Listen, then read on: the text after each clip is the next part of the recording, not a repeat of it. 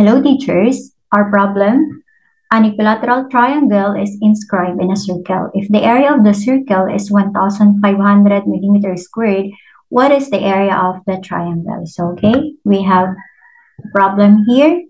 And we have this formula sa ating plane geometry part 1. And this is for the equilateral triangle and this is for the circle. Ilalagay ko po sa description box para madali po nating ma-access. And here, r squared, r squared. So, madali na po nating makukuha ang area of the triangle na hinahanap. But, let me share this one. We have area of the circle is equal to pi r squared here. Then, paano po natin masasolve ang radius gamit ang formula na ito? r squared is equal to area of circle over pi. So, review na lang po ito sa medyo nahihirapan kung paano gagawin. And para matanggal po natin ang square dito, we have to multiply both sides or raise both sides to exponent 1 half. Okay? So, ito ay tanggal na. What remains r is equal to the quantity of area of circle circle over pi raised to 1 half. So, paano na po ito? Recall, rule of exponents. So, again, lahat po ng videos related to this one, nakalagay po sa description box. Kindly check na lang.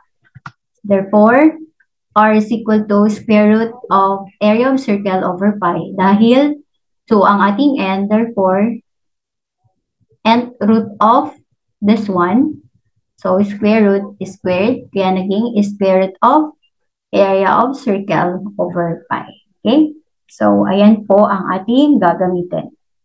Again, kung carry po ng mata-mata na lang, that's good. So, what we have, radius is equal to square root of area of the circle, A, over pi, okay? So this is for the area of the circle. How about the area of the triangle? We have this one. Plug in po natin 3 fourths r squared where r is equal to x. Therefore, x squared is square root of 3. Ayan. So, para saan po yung kanina? Para isahang, ayan, isang bagsak na po ng area of circle and area of the triangle. Then, What's next? Call. Tatanungin po tayo ng area. What is the given area? It is 1,500. So this is the radius and this is the area of the triangle. Unfortunately, wala po sa ating given.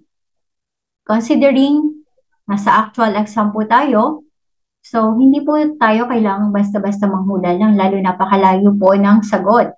So what we gonna do is to look for the error or decode. Magdi-decode po tayo. So, ano po ang ating gagamitin?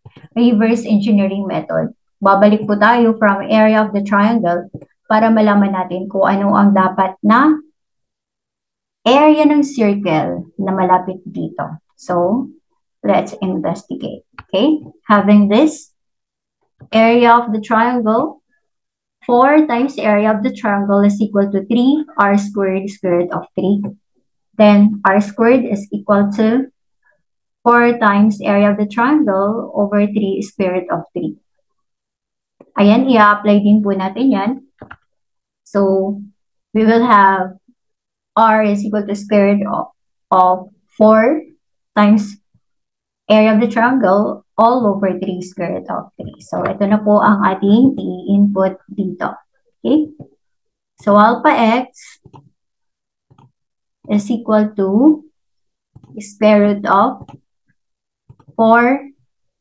Yung A naman po natin dito ay area of the triangle kasi pabalik po tayo. So, area of the triangle po itong umpisa natin. Then, here will be the area of the circle which is pi r squared. Ayan. Diba ang r natin ay x? So, next, 12 tatanuin po tayo ng area. 'Di ba? Ito po ay area of the triangle. What is the area of the triangle? So ito po, isa-isahin po natin kung alin po ang mas malapit sa ating given. Okay? So, letter A, 783.12. Okay? So, this is the area. And take note, 943.49 This is the radius and this is the area of the circle. Medyo malayo. So, calc 1033.73 for letter C. And this is the radius and this is the area. So the area is nearly 2,500 and the given is 1,500. Hmm, may liwanag na ang buhay. 100.24. This is the radius and this is the area. Hence, ang pinakamalapit ay ang ating letter C, which is 2,500. Therefore, i-assume po natin na dapat ito ay 2,500.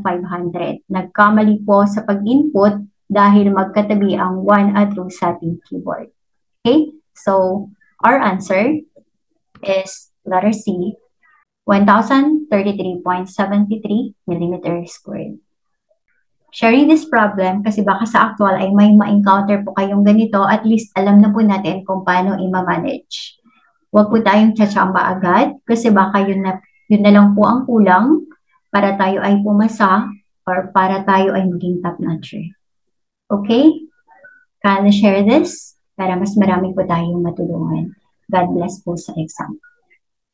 Oh, by the way, kung nalilito po dito, Nasa description box din po yung ating first solution last year.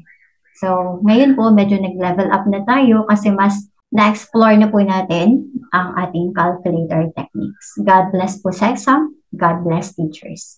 Claiming LPT 2024.